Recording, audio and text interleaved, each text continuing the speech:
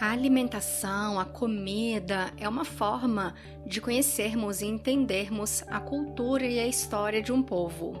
Basicamente, todos os aspectos da comida são culturais, desde a escolha dos ingredientes até a forma como nos sentamos à mesa. É possível descobrir e entender a forma como um povo vive analisando como ele se relaciona com os alimentos. As receitas também são uma forma de transmissão de conhecimentos e saberes entre gerações.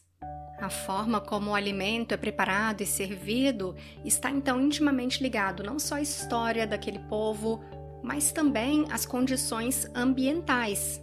Eu estive recentemente nas minhas férias no arquipélago dos Açores, especificamente na ilha de São Miguel, e visitei o Vale das Furnas, que é uma região muito cheia de fendas naturais abertas no chão, de onde vemos sair uma fumacinha do solo.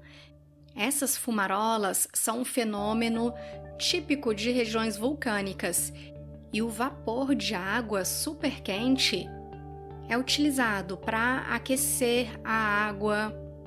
Então eu fui em piscinas naturais bem quentinhas, a céu aberto, e vários restaurantes da região preparam o cozido de legumes com carnes, enterrando as suas panelas nesse solo vulcânico.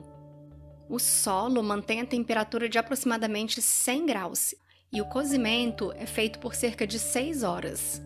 Nesse cozido tem batata, batata doce, cenoura, inhame, couve, repolho, e eles fazem uma versão vegetariana. Então, meu marido comeu a versão dele com carne e eu comi a minha versão vegetariana com uma saladinha à parte.